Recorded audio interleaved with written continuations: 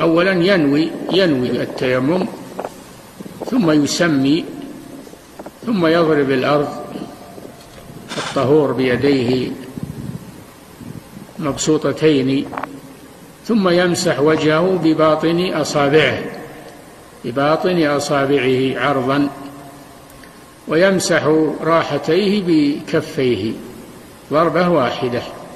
هذا هو صفة التيمم الموجزة. نعم.